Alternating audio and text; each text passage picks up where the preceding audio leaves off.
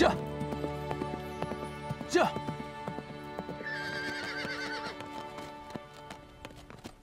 吁。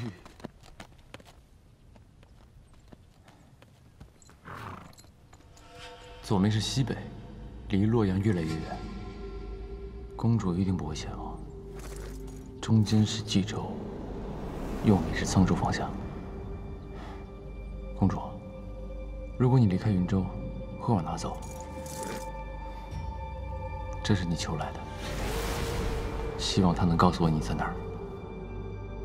正面冀州，反面沧州。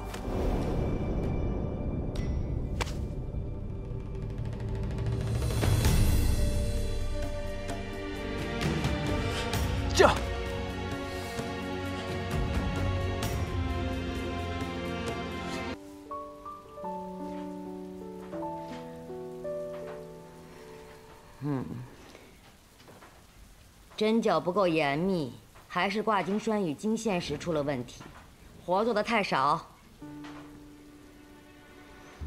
嗯，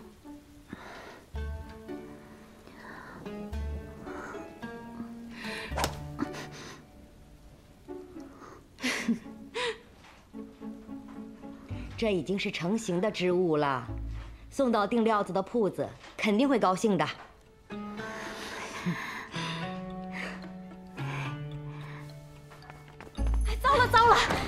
长师来传话，这连日大雨，他们库存积压，这批布匹先不要了。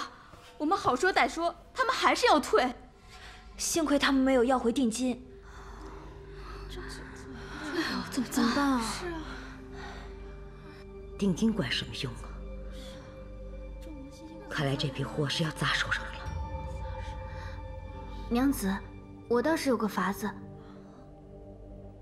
我们可以把这些做好的布拿到集市上去卖了。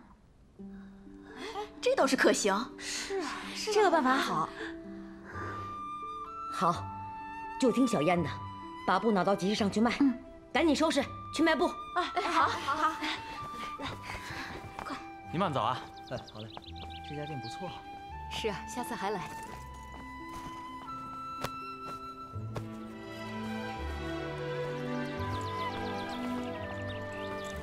小二。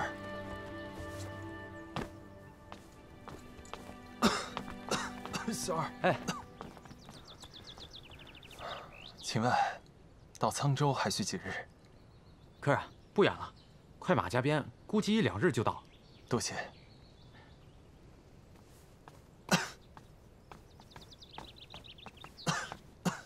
还真是有缘呢。怎么了？生病了？淋雨染了一点风寒，你可得保重身体啊！别公主没找到，把自己搭进去。比起乐言的安危，这算得了什么呢？放心吧，我能扛得住。公主的事先放一放吧。陛下已经下旨，召你回长安复命，封你为监察御史。什么？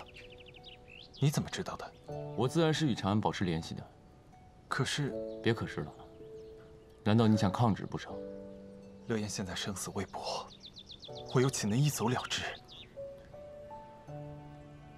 我希望能够弥补我犯下的错，我不怕承担责任，我一定要把乐言找回来。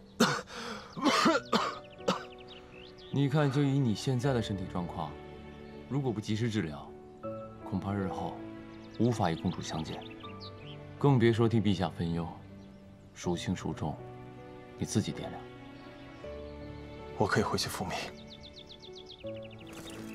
可是好兄，乐言如同我的亲妹妹，请你务必。我自会尽力而为。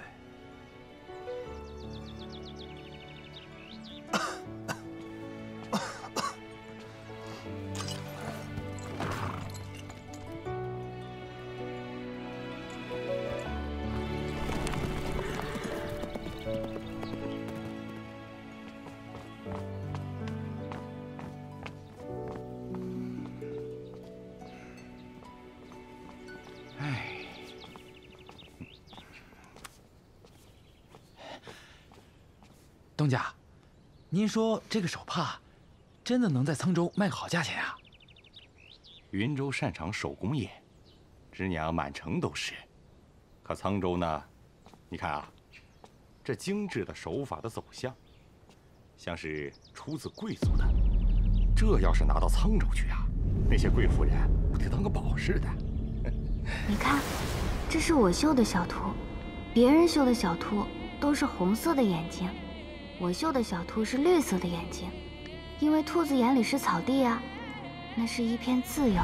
我倒是觉得呀，绣这个的小娘子，一定是个见过世面的人。哎，你干什么？这手帕哪来的？你想抢生意？我对生意不感兴趣。我再问一遍，这手帕哪来的？我胡某做生意几十年了。我还真就不怕威胁，不过我告诉你，我们生意人只讲究利润，够吗？啊，东家，云州西郊之房，一个小娘子做的。公主，原来你还在云州，是我大意了。这就走了？今儿呢是中秋节，是个团聚的日子。但是呢，我要跟你们说一件伤感的事儿。啊，什么伤感的事儿？其实也不算是伤感的事儿，是个好事儿。这不边境闹兵乱吗？朝廷啊，就派人挨家挨户的通告，说是边疆人家想回中原的呢，可以随他们队伍一起南下。到时候啊，还会重新编定户籍。听说。还会分给土地，真的假的？那我岂不是可以回家了？咱们相聚是缘分，不如在走之前，我们再一起行动，把陈娘子的布匹全部卖出去吧。好，好，那必须的。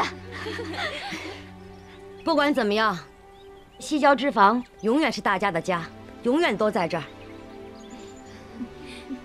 行了，行了，都去卖布吧，要卖少一分钱，谁也不许走啊！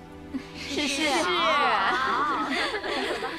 走，小燕，来，这个，小燕，你就留下来吧，给我吧，反正也无家可归，只要有我一口吃的，就饿不着你。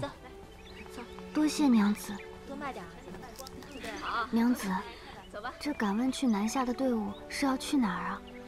一路南下，应该途经的地方挺多的。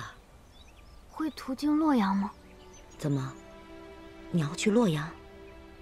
我在洛阳有一个家，娘子，今日你就让我跟他们一块儿去卖布吧。我想尽我所能，好好的报答你。你就不怕官府抓你了？想来应该是没事。娘子不是说外头也没人再问了吗？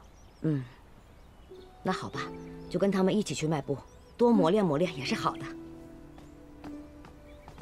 来去吧。